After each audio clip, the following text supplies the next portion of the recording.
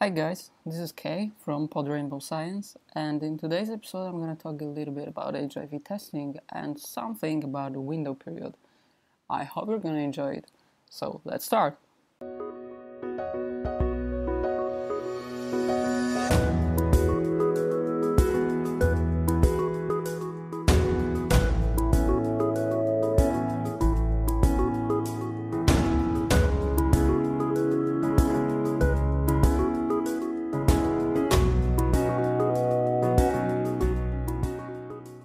HIV stands for Human Immunodeficiency Virus, and it is one of the sexually transmitted infections.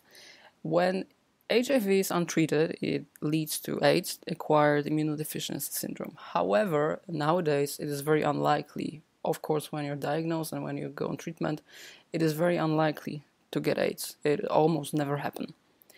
Uh, it is, even though it is sexually transmitted, you have to remember that it can be transmitted also from mother to child during pregnancy or during delivery or even breastfeeding. And also, it can be transmitted by blood. So, if you use injection equipment shared with someone else, you can get HIV.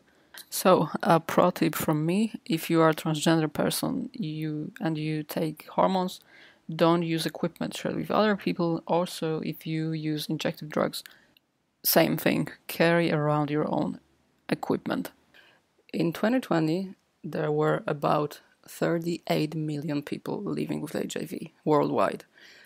And it is, of course, an estimate number, so we are not sure if this is the right number. Maybe there are 45 million people, or maybe there are 31 million people. We're not sure about it, but according to UNAIDS, the Joint United Nations Program on HIV and AIDS, it could be 38 or something about it.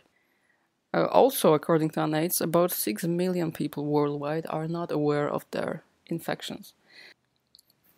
So it's still a long way to go, but it seems like we've made headways and we're on a good way to really end the HIV epidemic.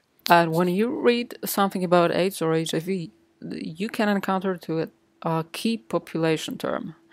And the key populations are people who are especially prone to get infected or people who are at high risk of infection. And in the context of HIV, we can include key populations such as men who have sex with men or MSM, transgender people, sex workers, people who inject drugs, and people in prison and detention.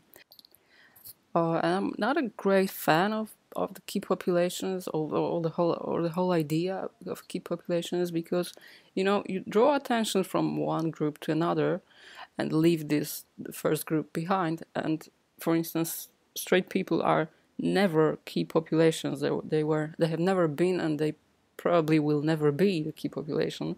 While according to CDC straight people account for about 24% of new infections last year so the consequence of speaking of key population is greater awareness in key populations, but maybe sometimes uh, lower awareness in other populations which are also prone to HIV. When it comes to HIV tests, we have uh, three types of tests which are commonly used nowadays we have antibody tests, we have antibody antigen tests, and we also have NAT nucleic acid tests. Uh, when it comes to antibody test, it as you can as the name can suggest, it looks for antibodies in the blood sample or in the oral fluid sample. But the oral fluid sample tests are very uncommon, so if you have an antibody test, it is very likely that it is from a blood sample. Uh, the most common examples of antibody tests are self testing kits. So, the test you can order to your house and you can perform it by yourself. And also the rapid test. It is uh, the test you can, the test that gives you an answer in about 15 or 20 minutes.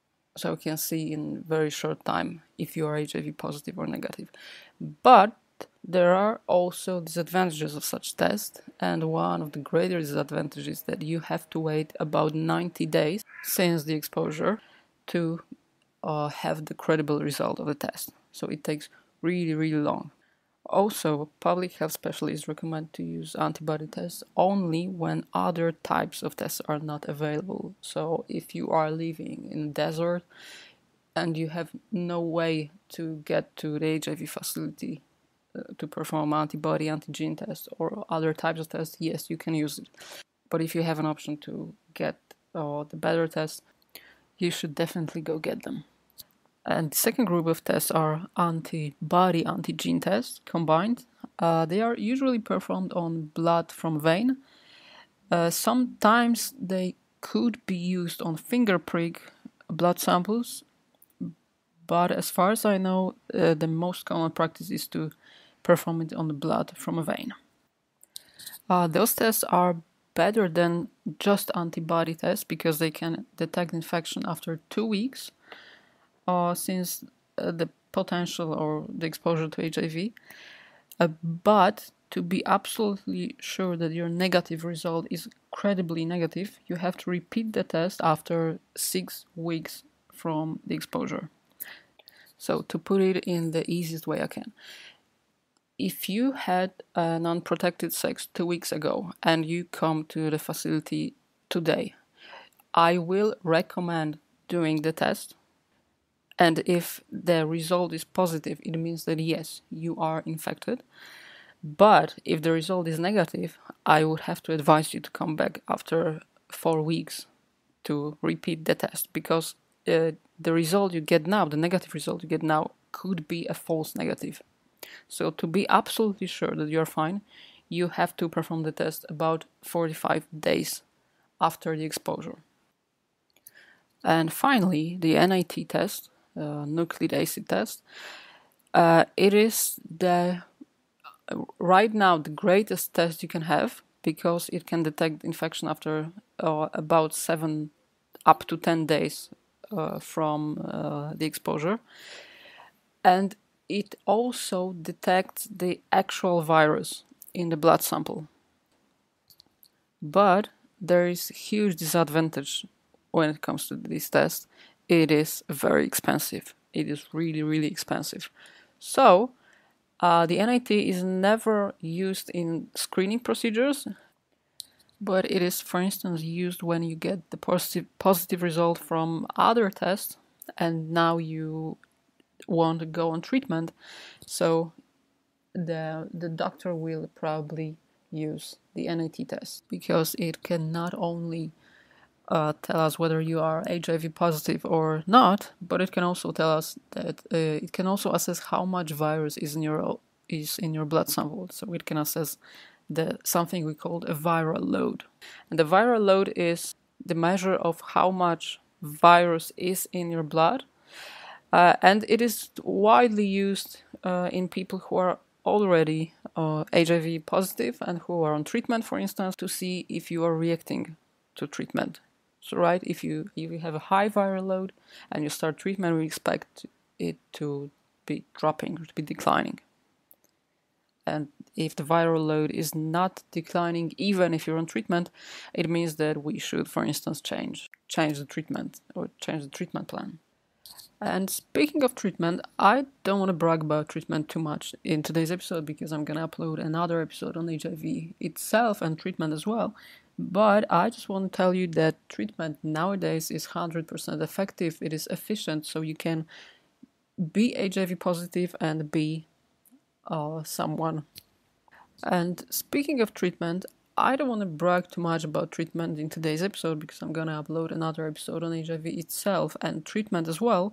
But I just want to tell you that nowadays treatment is 100% efficient and it is effective, and you can just lead a perfectly normal life even if you're HIV positive, because it takes just a few weeks to be undetectable. It means that your viral, viral load is so low that it cannot be detected by normal tests, and so the virus is not destroying your immune system or it doesn't do anything bad inside you.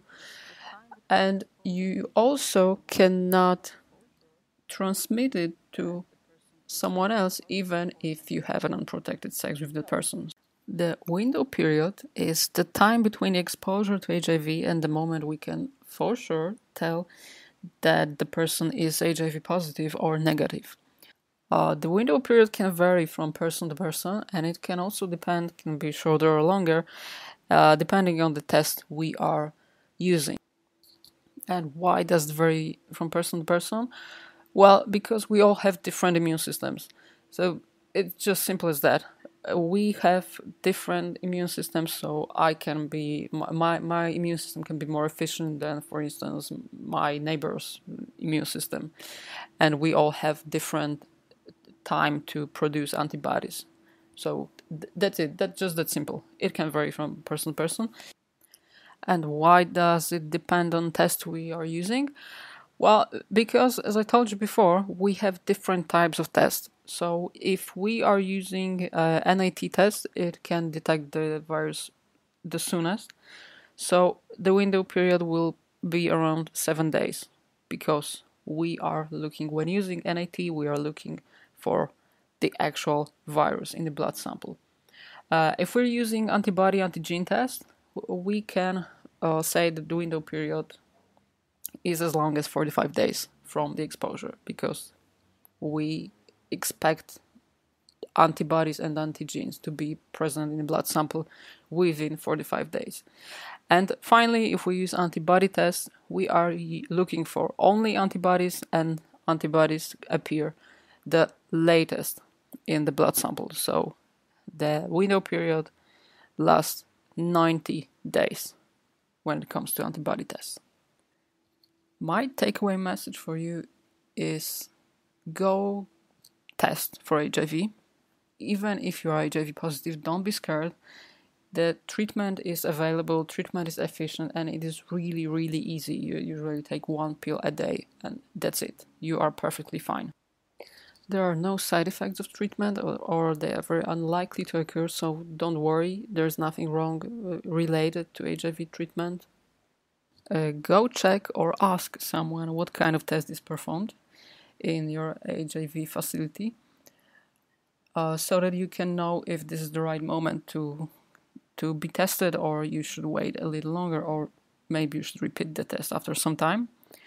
Uh, remember about window period, and if you are not sure about it, just ask the HIV advisor or ask your GP to make sure whether the test has to be repeated. So, thank you for today. I hope it was interesting for you. Hope you enjoyed the the episode. If you have any comments or questions, just drop me an email or private message on Twitter. I'll be happy to get in touch with you. Take care and share your knowledge.